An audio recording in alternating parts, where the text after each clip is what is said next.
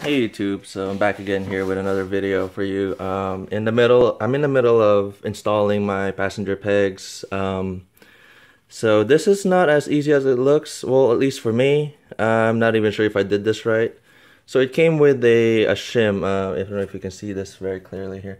So there's a metal shim that's uh, bent a little bit, so it, it creates tension when you're, um, when you do this with the, so it stays up there. You know, it took me uh, couple minutes to figure out how the orientation, how they go. If you see on your your um, your rider peg here on the front, I just basically copied how that's the orientation is on that, and you know, it's pretty straightforward. So this is on the other side actually. This is on this side.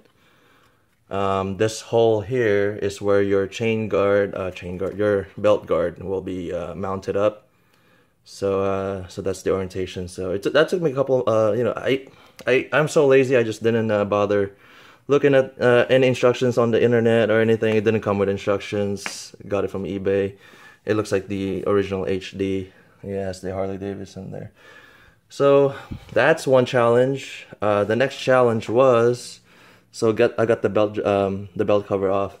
They tell you to um, the instructions tell you to take the axle nut out uh, from the rear here to uh, loosen, I guess, the belt so that you can um, get your tools in here because you don't have really, you don't, you really don't have much room. Um, let me see where my, uh, so here's the kind of a, this trick I did here because if you look at, uh, okay, so here's the, here's the, the clearance that I'm talking about it hits the belt. So I think that's the point of loosening the belt is uh, so you can put a socket on top of this and you know whatever tools. If you have a slim tool, you have a slim Torx bit and and you know um, in a socket, then yeah, sure it will work. I just didn't have that. You know, I just have basic my the most basic tools I have. Even the stubby um, wrench here didn't fit. So uh, what I did was, thankfully this um, this Torx bit had a Allen body to it so, and then I just had to just put that on the socket on a box wrench and did that. So, so I was, I was doing, it took me a long time because I was doing that for freaking like 10 minutes each bolt. And I had to use a breaker using this, uh, just some, any metal rod basically just to have leverage to break it so that I can just do start doing this with my hand. So that was the challenge. That's just on one side. The other side is open, so I can just put it on there. I started with the hard side so that I can get that out of the way. Um, this is, uh, I guess, the price you pay if you don't want someone else doing it for you. And just using your basic hand tools at home. And I should invest in more tools. Like I seriously have to.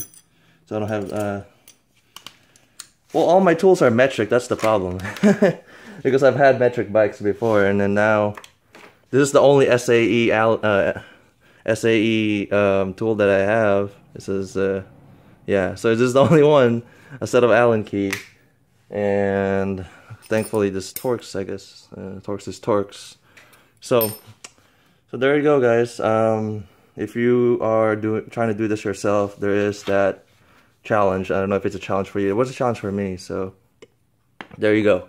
I'm gonna go install this. Um, getting ready for my passenger seat that's coming in tomorrow and I'll, pro I'll probably do a video of that again. As, uh, I'll also do a video of that because uh, I guess for document documenting purposes, I don't know, and um, for future reference for other people, so I can help them.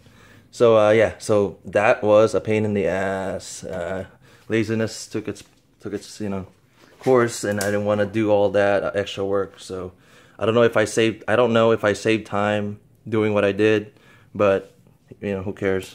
I didn't I didn't have any lift to lift the rear end, so I can do that anyway. So um, I'll see you guys on the next video where I have the pegs installed, and um, yeah, we'll talk some more. Thank you for watching. Hello YouTube. So here's the final result. I got the um, the belt guard put back, and foot pegs are good to go. This is the hard side. This is the easy side. Right here. Bolts are there. Works great. Uh, next step would be the air cleaner. It's gonna be on another video. And I'm waiting for my seat, of course, like I mentioned earlier. So there you go. That's the first couple mods for this bike. And I'll see you guys on the next one. Thank you.